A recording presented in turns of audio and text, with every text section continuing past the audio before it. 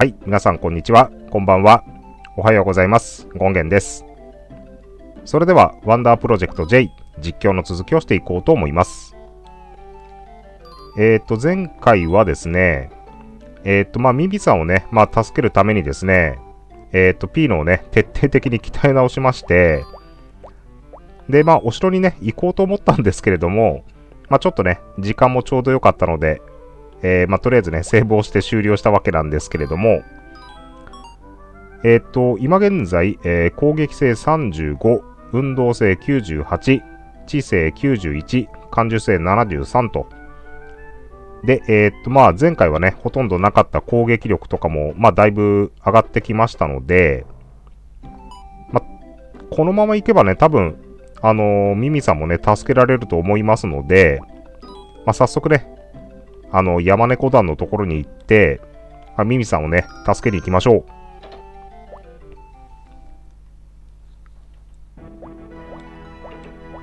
まあ、あの、必要とされる能力が、えー、っと、お城に潜入するための、まあ、腕の力と、えー、っと、お城のね、兵士と戦う戦闘力。あとは、まあ、あんまりね、多分必要ないと思いますので、まあ、いけるんじゃないかななんて勝手に思ってるんですけれども、えー、っと、この裏通りに行けばいいのかな？まあ、山猫団のね、アジトに行ってみましょう。えーと、じゃあこっち来て。ちなみに掲示板とかは、なんか変わってるんでしょうかね？えー、アルバイト募集、えー、擬人を楽しませてくれる方。これミミさんのお店ですね。えー、っと、これはサーカス団ですね。サーカスもね、もうあの、閉鎖されちゃいましたからね。えー、泥棒の勧誘が行われています。これは、え、っと、山猫団のことですね。特にね、掲示板は変わってなかったですね。で、なんかゴミ捨て場にアイテム落ちてないですかね。えー、何にもないっす。そうですか。ん？ここにあるの擬人ですかね？この、今、ティンカーが指してるところ。擬人が捨てられちゃってるんでしょうかね？ちょっとなんか、哀れですね。よし、じゃあ、山猫のところに行ってみましょう。いるかな？あ、いた。腹は決まったかい？捕まったら命はないよ。なるほど。まあ、お城に潜入するわけですからね。腹、決まった 軽いな。大丈夫なんでしょうか、ピーノは。ふふふ。よし。ドロー、ボー。今夜城に入るよ。あ、もう今夜ね、結構ですね。へーい。やだな。とほほほ。ドロとボーはなんかいやいやついてくるみたいですね。お、交代の時間か。ここはお城の正門前みたいですね。あ、来た。お、山猫も一緒に来ましたね。この城にまともに侵入するのは不可能だ。うん。兵士を迎えに来る亀バスを使うしかないよ。亀バスでお城に行くんですね。来るよ。あ、来た。ていうか、この普通に門をひょいってこう飛び越えちゃった方が早いと思うんですけどね。ピーノ、私が兵器をび兵士をおびき出すから、その隙に亀バスを。亀バスをかっぱらって城に忍び込むんだ。亀バスはオートパイロットだから、操縦の心配はないよ。わかったね。了解です。あれ？ということは、こっからは一人で行くのかな？やったるぞー。じゃあ、ミミさんね、助けに行きましょう。おバカな兵隊さん、こっちこっち。あ、こんなことができるんですね、山猫は。ん？げ。いや、山猫だ。待てあ、山猫がおとりになってくれるわけですね。なるほど。今のうちですね。えー、じゃあ、亀バスに乗っていきましょう。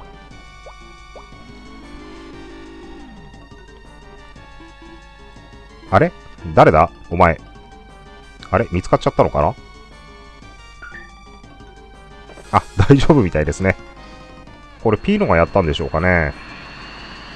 なかなかやりますね、ピーノも。で、こっからお城に潜入かな？あ、このツタを登るためにね、腕力が必要だったんですね。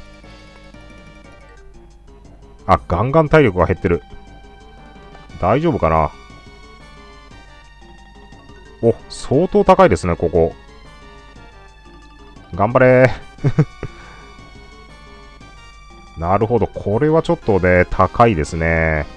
腕力鍛えないとね、ダメですね、やっぱりね。こっから潜入ですね。あ、擬人兵ですね、これは。侵入者発見。侵入者は殺せ。怖いですね、擬人。ちょろい、ちょろい。この擬人と戦うためにね、一生懸命鍛えましたからね。勝てますかね？かかってこい。あんまりね、同じ擬人同士で争うのはね、ちょっと嫌な感じしますけれども。えっと、擬人のヒットポイントは100ですね。あ、なんか余裕っぽい。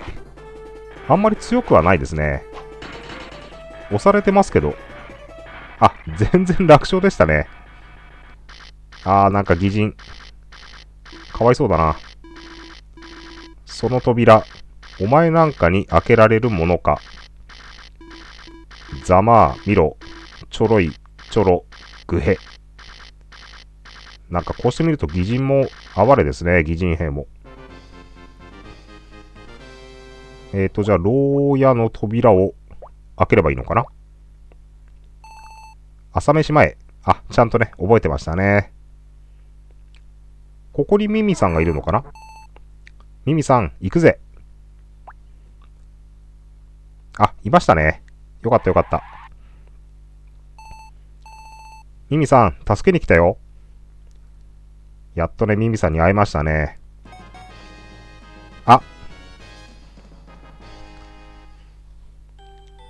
あ、喜んでますね。わあ、ピーノだ。ピーノが助けに来てくれた。まあ、ミミさんも無実の罪で捕まったようなもんですからね。さあ、早く。僕の仲間が外で待ってるから。脱出。ピーノは？あれ？一緒に行かないのかな？ぼ、僕は後で行く。ごくん。さあ、早く。あれ、このプリンとか食べちゃうのかな？わーい、プリンだ、プリンだ。ミミさん、いただきます。ふふふ。こんなことしてる間に脱出してもらいたいんですけどね。とりあえず体力回復するのかな？あー、幸せ。よし、じゃあ脱出ですね。ん？誰だ？見っかっちゃいましたね。結局こういう展開ですね。貴様、ここで何してる？あ、耳がいない。バレちゃいましたね。この兵士とも戦うのかな？どうした？騒がしいぞ。あ、メッサラですね。見っかっちゃいましたね。これはこれは誰かと思えば。ピーノ君ではないか。あ、なんか嫌なセリフですね、これ。いかにも悪者のセリフですね。ほう、なるほど。また随分と大胆なことをしてくれたもんだな。もう嫌なセリフですね、これ。く、来るか、メッサラ。でもピール丸腰ですね。なんか構えてますけど。くっくっく。参ったな。今まで君のことを温かく見守ってきたつもりだったが、こんな真似をされると、私も考えを改めなくてはいけないようだな。余裕こいてますね、メッサラ。へい。この者をひっ捕らえろ。へいって。は。自分でやれって感じですけどね。あ、山猫の声。たく。だから東城はダメなんだよ。さすが山猫姉さんですね。だ、誰だ？意外にメッサラ間抜けですね。お来ましたね、山猫。山猫姉さん。わ、な、なんだ？ゲホ、ゲホ。煙幕を張ってその隙に逃げるのかな？世話が焼ける子だよ。ついといて。了解です。じゃあ脱出しましょう。あ、すごい。こんなことができるんだ、ピーノは。しまった。ツタを切られた。えー、っと、どうするんだろう。やはりお前か。まだ生きていたか、山猫。二人はなんか、顔見知り同士なんでしょうかね。ふん、おかげさまでな。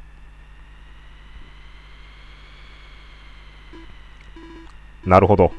お前がピールをそそのかしたわけか。二人の過去に何かあったんでしょうかね。しかし、段取りのいいお前にしてはしくじったな。へっ、笑わせるぜ。耳を奪われたくせに。なーにかっこつけてんだい？え最初メッサラ様よ。やっぱり二人はなんか以前あったみたいですね。くっくっく。減らず口を叩けるのも今のうちだ。薄汚い泥棒猫め。嫌な感じですね、メッサラ。あ、銃。ピーノ、貴様は助けてやる。まだ殺すわけにはいかんからな。これちょっとやばい展開ですね。どうするんでしょうか？怖いよー。泣いちゃいましたね、ピーノ。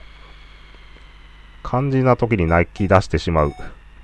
ピーノ、飛ぶよ。飛ぶ。飛び降りるんでしょうかね。え？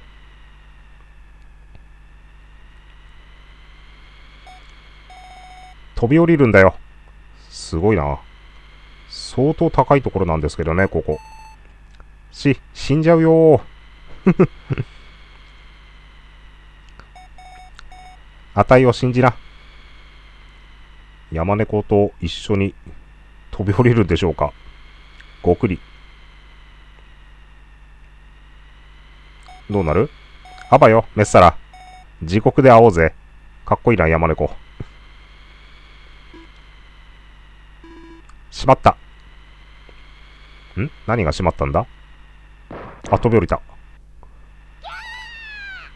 かっこいいな。こういうシーンよくありますよね。この月をバックにね、飛び降りるっていうね。山猫様、ナイスキャッチ。あ、泥と棒。すごい。お、重い。お、落ちるうるさい。なんとか押し。このセリフマージも完全にあれですね。あの、タイムボカンシリーズのあの3人組ですね。あ、えっ、と、ミミさんがね、無事ですね。P の、それと、泥棒の皆さん、本当にありがとう。泥棒の皆さん。ミミ、礼を言うならその子にいいな。まあ、ピーノもね、相当活躍しましたからね。その子が一人で頑張ったんだよ。そうですね。それと、アタイラは義族。泥棒じゃないからね。あ、そうですね。ところで、どうしてメッサルなんかに捕まったんだい？そうですね。うん。それが以前から義人相手の店はやめろって？メッサラから言われてたんだけど、ずっと無視してたら、ある日、と捕まっちゃったのかな？義人に味方する者への見せしめか。なるほど。でも、あの野郎に一泡吹かせましたね。あ、そうですね。まあ、無事で何よりでしたね。全員。ざまあみろだぼう。あ、山猫さん。私、牢屋にいるとき、大変な話を聞いちゃったの。大変な話。大変な話？同じ反応してしまった。それが、なんだ？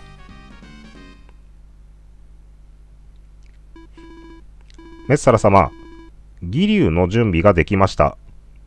義龍。し、声が大きい。それで調子は？義流って何でしょうかね？は、完全に人間を制圧できます。人間を制圧する何か。あとは、王と王女の始末だけか。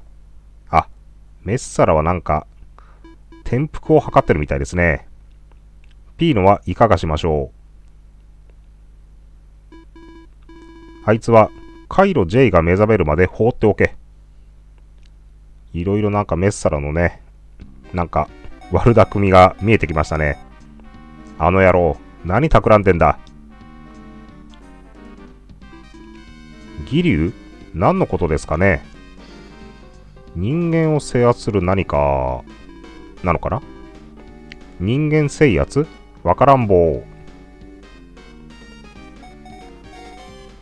嫌な予感がする。その義龍というやつ。早く見つけて何とかしないとやばいことになるな。なるほど。あ、誰か来た。開けろ、ヤマネコ。そこにいるのは分かってるぞ。バレてましたね。ピーノ、耳はアタイラに任せときな。とりあえずずらかるよ。こっからどうやって逃げるんでしょうかね。あ、普通にね、家に帰ってきましたね。ミミさんが聞いた義龍や人間制圧って、何のことかしら？義龍どこかで聞いたことあるな。お、ティンカはなんか知ってるみたいですね。あ、思い出した。博士が言ってた10年前生産中止になった幻のメカ。擬人4630型。擬人4630型。えー、第8章、擬人4630型義龍。えー、っと、いきなりね、章が変わりましたね。山猫とピーノはどうした？ここオープニングと一緒ですね。あの、その、つまり、申し訳ありません。取り逃がしましたね。と、取り逃がし、てんてんてん。あ、撃った。ギャ有無を言わさず殺しましたね、兵を。役立たずめ。メッサラは悪いやつですね。へい。お呼びですか？なんか嫌な上官ですね、メッサラ。ひ。それブルブル震えますよね。炭鉱入り口の音声ロックを起動させておけ。炭鉱入り口の音声ロック。4630型義流をスタンバイさせる。は、はは。わかりました。極。人間を制圧するための幻のメカ？ピーロめ、調子に乗りおって。吠え面書くなよ。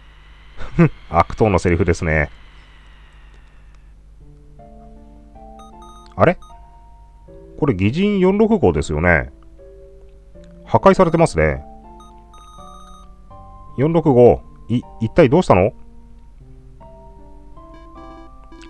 城の兵にやられたよ。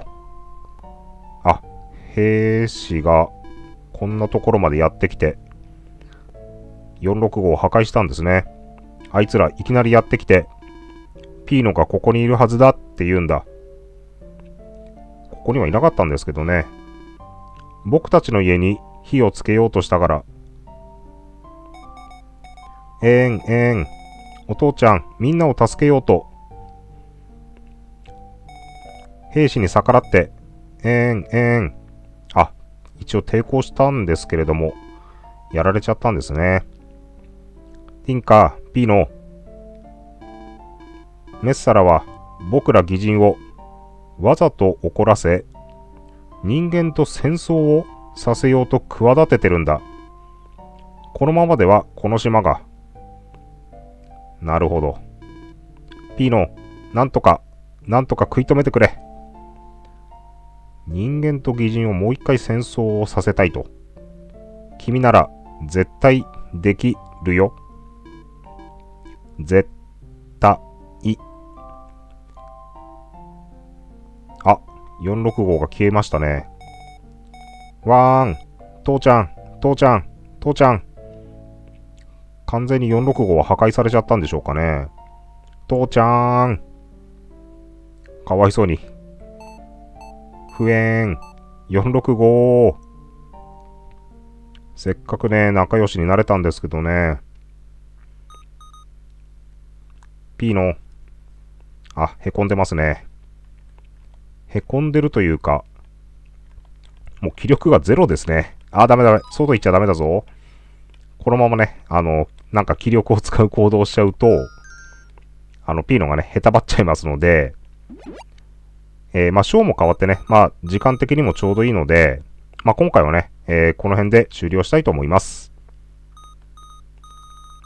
はい、えー、それではね、今回ここまでご視聴いただきましてありがとうございました。まあ、次回もね、頑張ってやっていこうと思いますので、よろしくお願いいたします。それでは、ゴンゲンでした。